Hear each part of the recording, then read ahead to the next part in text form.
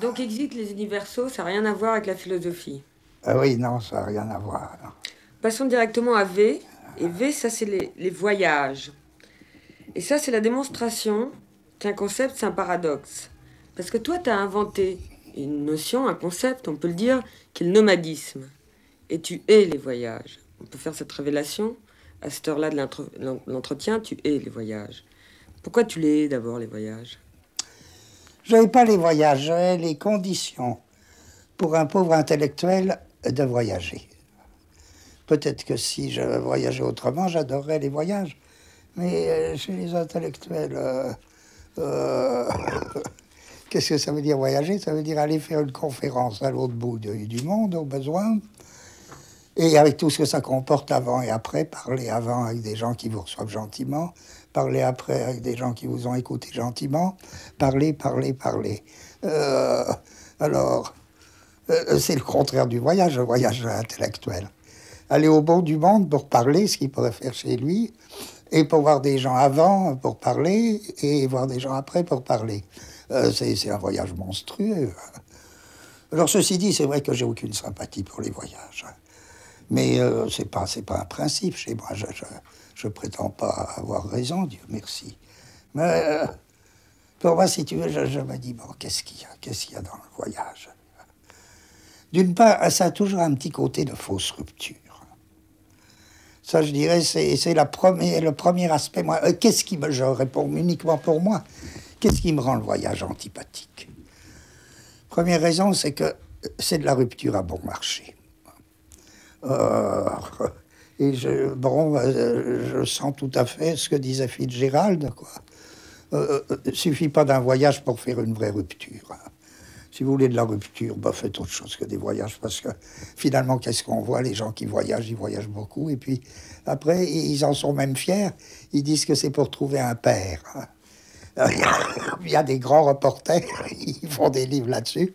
Ils ont tout fait. Ils ont fait le Vietnam, l'Afghanistan, tout ce qu'on veut. Ils disent euh, froidement qu'ils n'ont pas cessé d'être à la recherche d'un père. C'est pas la peine. Le voyage, ça paraît quand même très édipien, euh, en sens. Alors bien, euh, bon, je me dis, non, ça va pas, ça. La seconde raison, c'est, il me semble qu'il y a une je suis très touché par euh, une phrase admirable, comme toujours, de Beckett, euh, qui fait dire à un de ses personnages à peu près, euh, je cite mal, c'est encore mieux dit que ça, c'est on est con quand même, mais pas au point de voyager pour le plaisir. Alors ça, cette phrase, elle me paraît parfaitement satisfaisante. moi, je suis con, mais pas au point de voyager pour le plaisir, ça, non, quand même pas. Puis il y a un troisième aspect du voyage. Moi, je me dis, alors tu dis nomade. Oui, j'ai toujours été fasciné par les nomades, mais c'est précisément parce que les nomades, c'est des gens qui voyagent pas.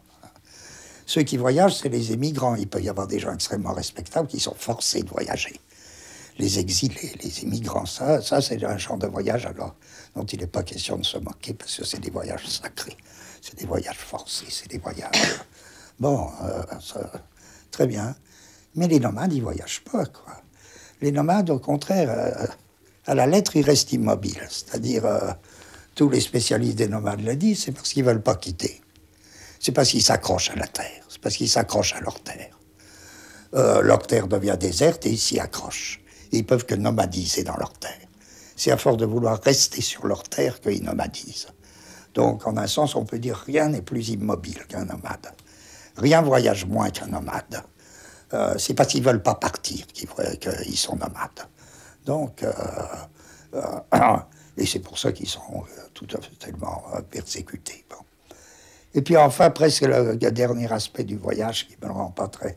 Là, je le trouve, il y a une phrase de Proust très belle qui dit, finalement, qu'est-ce qu'on fait quand on voyage? On vérifie toujours quelque chose.